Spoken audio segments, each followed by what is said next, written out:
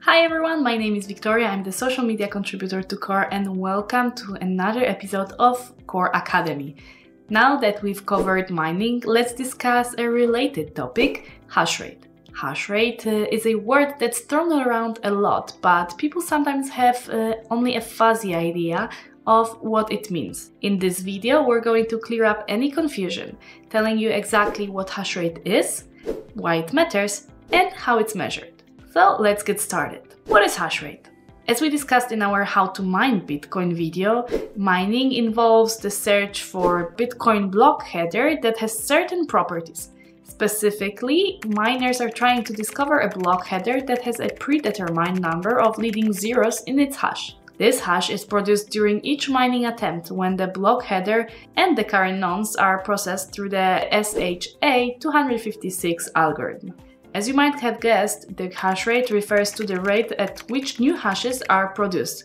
Though it's common to refer to the hash rate of the entire Bitcoin network, it can also be measured for an individual mining rig or mining pool.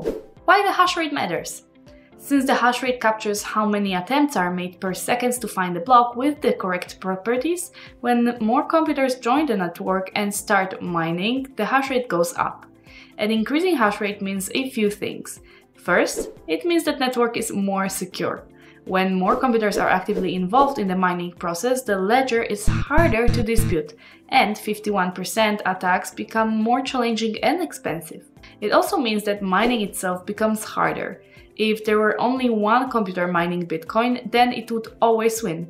But the network dynamically adjusts its difficulty as more machines are added. A rising hash rate indicates a more computational power being used to mine Bitcoin blocks, which in turn means each individual miner has less of a chance of winning. Of course, the opposite is also true. When the hash rate falls, there are fewer computers attempting to mine blocks, which means it's easier for any particular miner to win. But this also means that the network is less secure and more vulnerable to 51% attacks. Blockchains like Bitcoin adjust the difficulty up or down depending on how much compute is being thrown at mining new block. The network is calibrated so that it takes about 10 minutes to mine a new block on average. So if there's a spike uh, of new computers trying to mine the difficulty is adjusted up to account for the added hash rate and vice versa. So how to measure the hash rate? You may hear different measurements thrown around for a hash rate, and we'll cover those now. Remember that a hash is a guess about the header for the next block. If one such guess were submitted per second, the hash rate would be just 1. A kilo hash per second is 1000 hashes per second, and this is considered a very low hash rate. A mega hash per second is a million hashes per second and this would generally be achievable by one CPU or GPU working alone.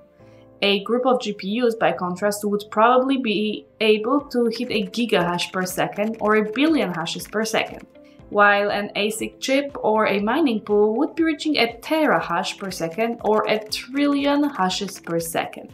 Believe it or not, there are even levels above this. A very large mining pool could be achieving a petahash per second, or a quadrillion hashes per second. And an entire blockchain network in aggregate could have an exahash per second, which is quintillion hashes per second. To conclude, I hope you found this video interesting. You should now have more context about how blockchain mining works and how the hash rate figures into it.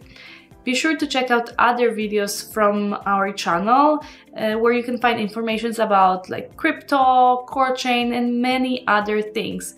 So don't forget to subscribe and thanks for watching.